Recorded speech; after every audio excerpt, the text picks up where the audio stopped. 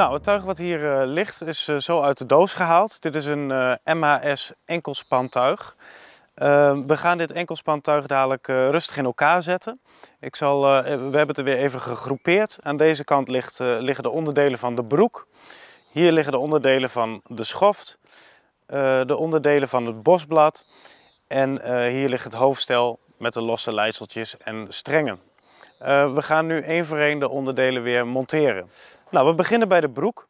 Um, de twee lange riemen, dat zijn de lendenriemen. Deze maken we vast aan de broek aan één kant. Op deze manier. Um, de rugriem met de culeron, dat is dit gedeelte, uh, zal hier aangemaakt worden door de lendenriem uh, hier tussendoor te prikken. Dit gaat niet altijd even makkelijk. Het is even prutsen, maar hij hoeft er ook nooit meer uit. Dat doen we op twee plekken.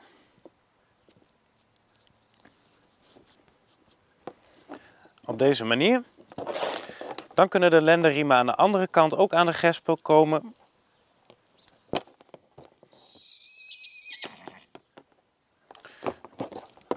Waardoor de broek al vorm begint te krijgen. We hebben hier nog enkele riempjes over.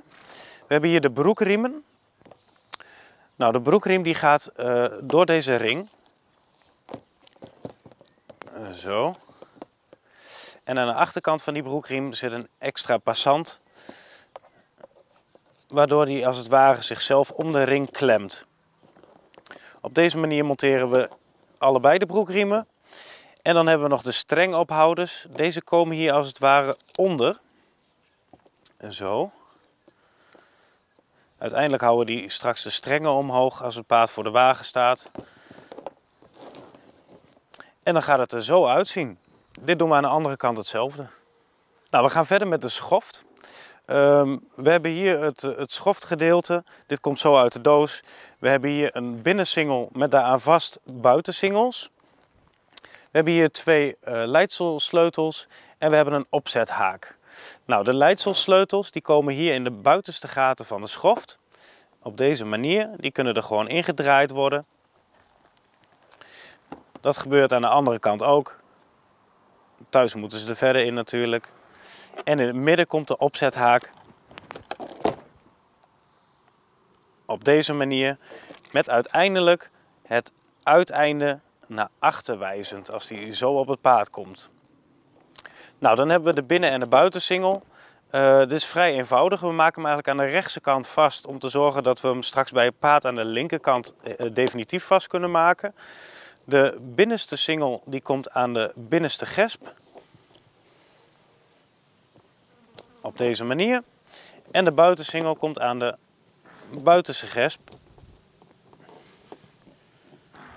Zo. En zo is onze schoft compleet. Nou, we gaan het uh, borstgedeelte in elkaar zetten. Uh, we hebben hier op tafel liggen een bosblad. Daarnaast ligt de halsriem. En hier zijn de strengen die uiteindelijk aan de wagen vastkomen. Um, de halsriem die kan eigenlijk maar op één manier vast. Die gespen we aan het bosblad. En dat doen we gewoon aan beide kanten. Zo. En de andere kant exact hetzelfde waarna deze eigenlijk al klaar is.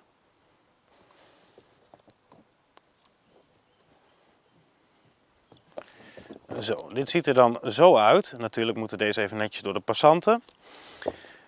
Um, uiteindelijk komen de strengen hier aan deze gesp. Nou, de streng komt zo uit de doos. Nou verkoopt de mini horse panieksluitingen. Deze kunnen hier heel eenvoudig aangehaakt worden. Dat is het, eh, de, makkelijkste methode. Uh, maar eigenlijk zijn dit strengstroppen. Het uiteinde gaat door de ring. En op die manier kunnen we hem zo aantrekken. Zo. Nou, dit gedeelte komt hier natuurlijk aan de gesp. En aan de andere kant kunnen we hem straks zo aan de wagen klemmen. Nou, we gaan uh, nu het hoofdstel in elkaar zetten. Hier op tafel liggen alle losse onderdelen van het hoofdstel. We gaan er even snel langs op. Uh, dit is de lepel. We hebben hier een neusriem met daaraan vast een dunne riempje, dat is de sperriem. We hebben hier een frondeel, uh, nog een gedeelte van de neusriem, ik zal hem even netjes bijleggen. De keelriem, het kopstuk, en de oogkleppen met de bakstukken eraan vast en de windriem. Uh, hier zijn twee rosetjes en we hebben uiteindelijk de leidsels. Maar goed, die horen natuurlijk niet echt bij het hoofdstel, dus die leggen we even aan de kant. Nou, we beginnen met het kopstuk. Um, midden aan het kopstuk zit een klein gespje. Hier kan de windriem aan vast. En op die manier krijgt ons hoofdstel heel snel vorm. Nou, en dan voordat wij de, het kopstuk aan het bakstuk gaan vastmaken, zullen we die rosetjes even moeten gebruiken. We hebben hier het frondeel, die komt uiteindelijk hier zo uh, als het ware voor het voorhoofd van het paard. Um, we doen uh, het roset, met de achterkant zit een uutje. Deze schuiven we zo over het frondeel, dan ligt hij als het ware nog los. En dan hier aan de bovenkant zitten twee gaatjes waar het kopstuk op deze manier ingeprikt kan worden. En die trek ik zo aan omhoog tot hij als het ware vastklikt. Um, op deze manier hebben we het roset mooi vastzitten. Aan de achterkant ziet het er zo uit. Waarna we het kopstuk aan het bakstuk gespen. Zo. Nou, dan hebben we hier aan de achterkant nog een riempje vrij. En daar komt de keelriem aan vast. Dat gaat op deze manier. Nou, aan de andere kant doen we dit natuurlijk zo exact hetzelfde. En dan gaan we door met een neusriem. Nou, de neusriem heeft dus een extra riempje in dit geval. Dat is het sperriempje. Uh, dit heeft eigenlijk alleen het, uh, het MAS-tuig. Het grote dikke gedeelte, dat is de eigenlijke neusriem. Die gaat hier door het binnenste gaatje. En de buitenste is uiteindelijk het bakstuk waar het bit aan vast zal komen. Nou, dit doen we aan beide kanten. Zo zal ik het hoofdstel even omdraaien. Want dan komt dit tussenstukje, eh, die komt daar weer aan vast om de hele neusriem bij elkaar te houden. Op deze manier.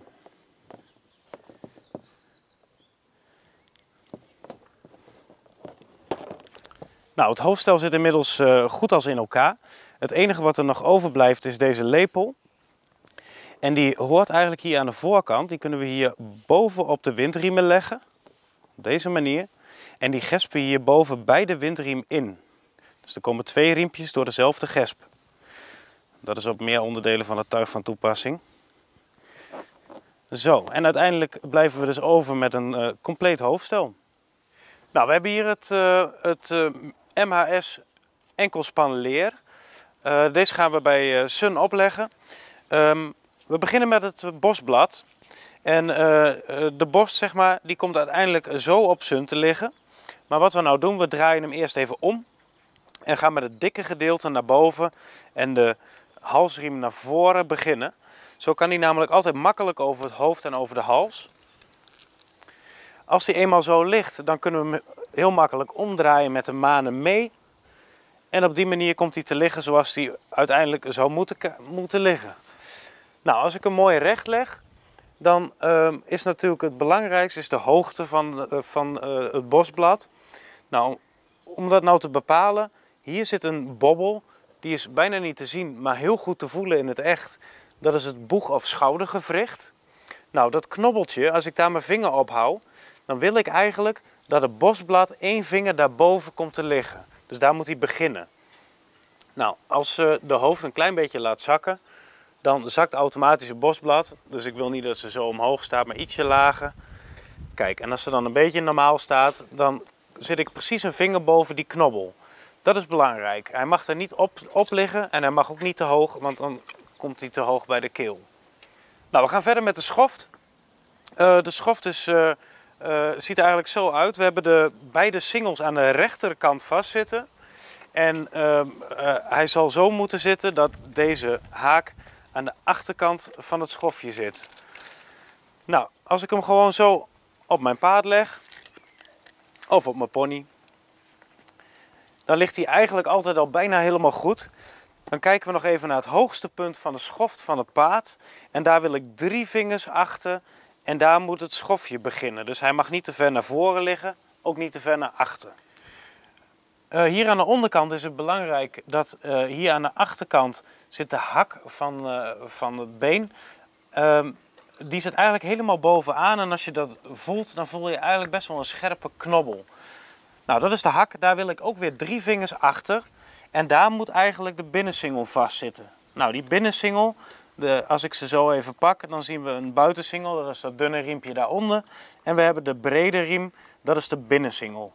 Nou, die ga ik eerst eens even vastmaken. Zo. Die komt niet zo strak als bijvoorbeeld een zadel, maar hij moet wel netjes aansluiten. Dus eigenlijk vast is vast, zeggen we dan. Zo. Nou, en dan willen we dus eigenlijk dat als hij uh, netjes vierkant staat, dus de voetjes naast elkaar, zo, bijna, zo. Dan willen we dus hier drie vingers tussen de singel en de hak. Nou, als die binnensingel op de goede plek zit, dan kan de buitensingel vast. En die hoeft eigenlijk niet zo heel veel te doen. Die moet gewoon een beetje aansluiten. Zo. En als die dan vast zit en we hebben alle uiteindes netjes door de passanten geprikt. Dat doe ik nu even niet, maar dat moet thuis natuurlijk wel. Uh, dan is dit eigenlijk ook weer klaar. En dan kunnen we verder met de broek. Ehm, de broek houden we eigenlijk zo vast, zoals die uiteindelijk ook gaat komen. We hebben hier aan de voorkant de rugriem, die komt uiteindelijk aan de schoft. Dat gaan we dadelijk doen. En hier aan de achterkant hebben we de culeron. Dat is dat ronde gedeelte die uiteindelijk onder de staat komt. Nou, als ik dit zo op mijn paard of pony leg, dan uh, moeten we dus eerst even die rugriem vastmaken. Nou, om dat te doen maak ik hem eerst even los natuurlijk. Dan gaat hij door dit gaatje. En nu is het belangrijk dat hij weer terug gaat door dezelfde passant. Dit heet een schuifpassant. Die kan ook heen en weer schuiven. Dat was eigenlijk uh, vandaar de benaming. En op deze manier kan ik hem zo vastgespen. Nou is het zo dat als ik hem straks op maat heb, dat uh, mijn gaatjes beginnen pas hier. Dus dit hele gedeelte heeft geen gaten.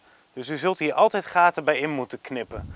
Uh, dit is dus gemaakt om later op maat te maken en niet uh, zodat het vanuit de verpakking al past, want dat is nooit zo. Nou, dan hebben we hier de culeron, die gaat vast. Ik maak hem aan de linkerkant hier open.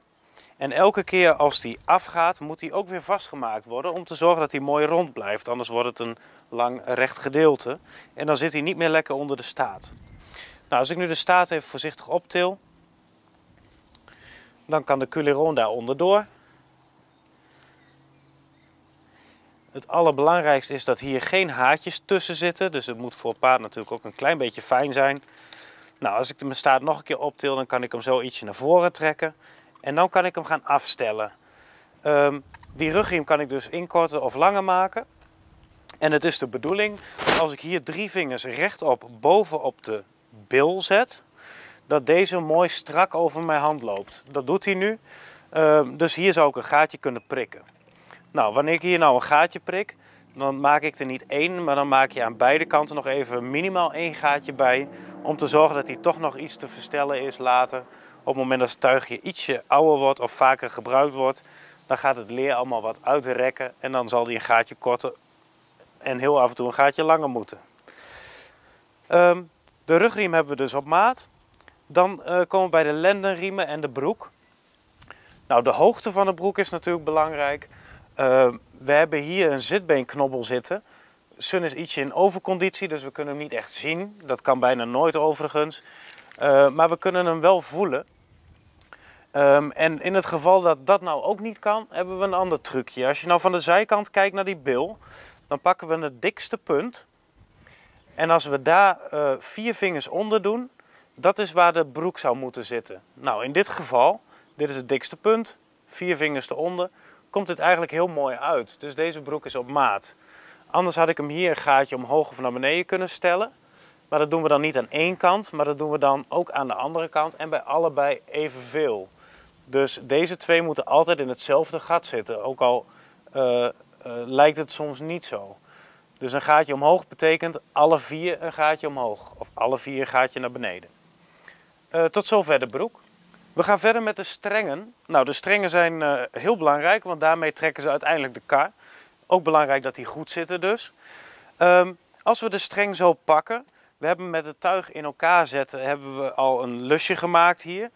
En um, we zien hier een, een uh, flapje uitsteken. Dat is eigenlijk een soort handvat.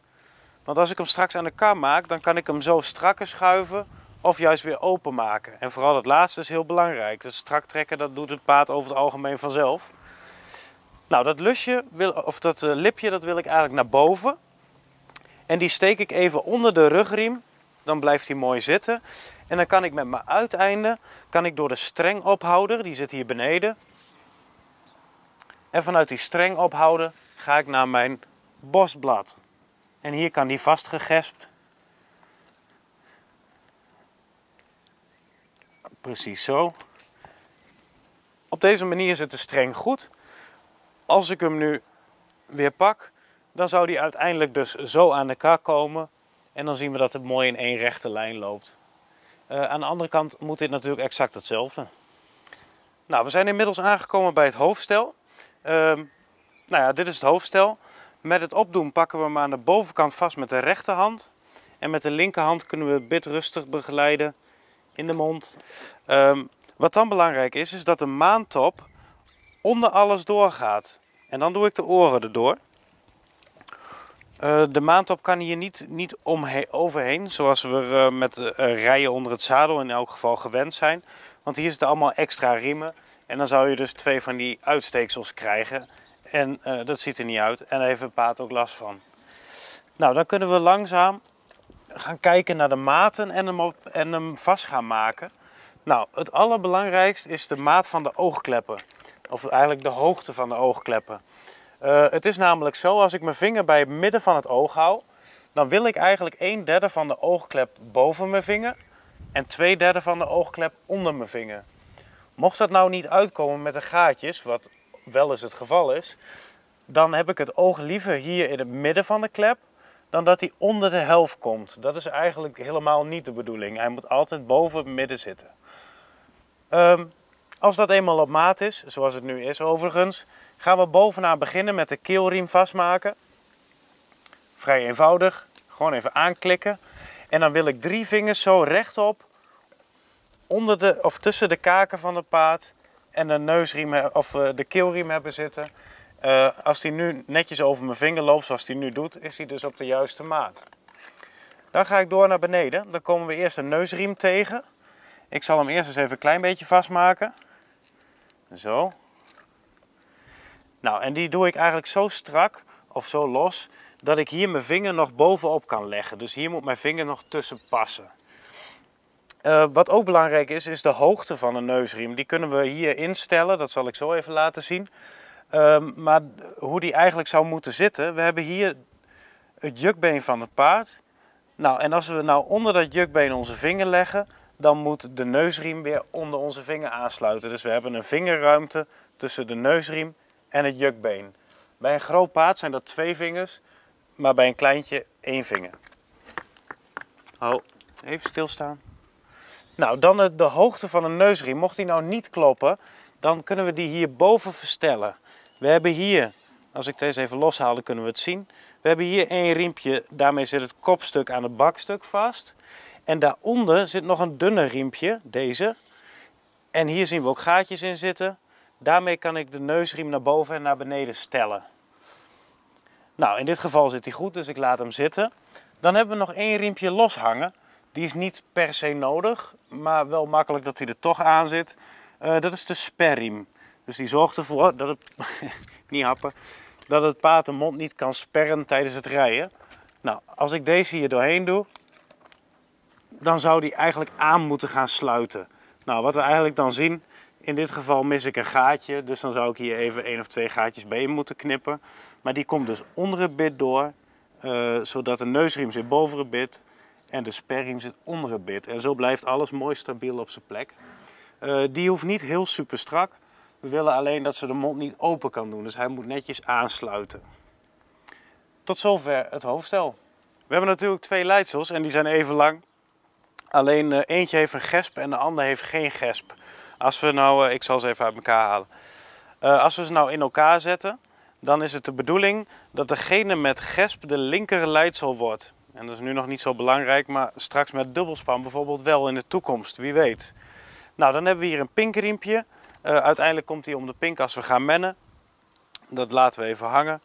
En dan ga ik zo met twee vingers ertussen, of met één of met drie, haal ik zo alle knopen en alle slagen uit de leidsel. Dat is vooral heel belangrijk. Nou, dan kom ik bij het uiteinde wat ik over heb. En dan eh, zien we twee gespen die uiteindelijk dus aan het bit moeten gaan komen.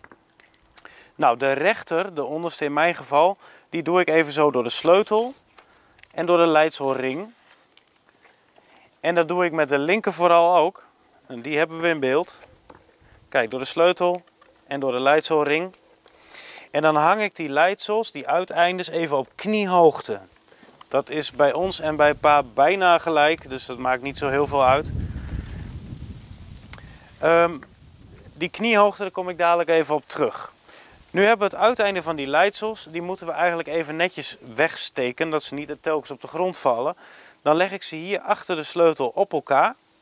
Maak ik een lusje van voor naar achter zo door de sleutel. Er zijn mensen in Nederland die kunnen het heel goed uitleggen in een soort menles. Dus dat is misschien tactisch als u dit voor het allereerst ziet. En dan pak ik hem ongeveer halverwege, maak ik weer een lusje van. Die steek ik daar doorheen en dan trek ik er eentje aan. En dan hangt dit muurvast. Uh, het is wel zo dat als er nu uh, iets misgaat, pak ik het uiteinde van die leidsels, trek ik er aan en kan ik het paard tegenhouden of sturen. Dus het is een soort weer paniekknoop. Hij schiet zeg maar los op het moment als ik hem wil pakken. En dat is belangrijk. Nou, dan hebben we die uiteindes nog op kniehoogte hangen. Ongeveer. En die kniehoogte, dat is eigenlijk bij elk paard uh, dezelfde afstand als naar het bit toe. Dus ik kan nu dat uiteinde pakken en die kan ik gewoon aan het bit van het paard maken. Nou ja, die hebben we nu even niet. Maar goed, dat is wel duidelijk denk ik. En deze afstand is dus altijd zo dat dat precies past. Tot zover de leidsels. Nou, we hebben hier het uh, MAS uh, enkelspan leren tuig. Uh, we gaan Sun in dit geval voor de wagen zetten. Nou, ik, uh, ik zal beginnen met de wagen naar Sun toe te halen. Nou, het allereerste wat we doen is de leidsels altijd even over de lamoen van de wagen. Dat is voor de veiligheid. Nou, en dan hebben we hier een veiligheidslichtoog. Daar komt het lamoen soort van in te liggen. En wat we dan doen is, we doen de, het ijzer op het ijzer. Die schuiven we als het ware overheen. En met het leren uiteinde hier, die prik ik van boven naar beneden daar doorheen. Zo, om te zorgen dat die geborgd is. Nou, aan de andere kant doen we exact hetzelfde. Ik zal hem even snel doen. Nou, wat er nu is gebeurd als ik de andere kant hetzelfde doe, zodra het paard met de bil in de broek loopt, dan kan ze als het ware de kar tegenhouden. Dus in plaats van dat ik de wagen zou remmen als koetsier, uh, is het zo dat mijn paard of pony nu de wagen kan remmen op de broek. Daar is de broek dus ook voor bedoeld. Nou, als ik dat aan de andere kant ook netjes vast zou maken, dan is het de bedoeling dat als de strengen strak staan, dus het paard loopt in de wagen, dat ik hier uh, vier vingers tussen de bil van het paard en de broek kan doen. En dan moet dus de broek strak om mijn vingers heen lopen. Zo strak moet die zitten. Die vier vingers is dus ook de ruimte waarin zij um, uh, eigenlijk niets doet. Dus ze trekt de wagen of ze remt de wagen. En die vier vingers, dat is dus de ruimte waarin uh, eigenlijk de wagen vrij loopt en zij niet hoeft te trekken of tegen hoeft te houden. Als we dit aan de andere kant ook hebben gedaan, dan is ons paard goed aan de wagen bevestigd.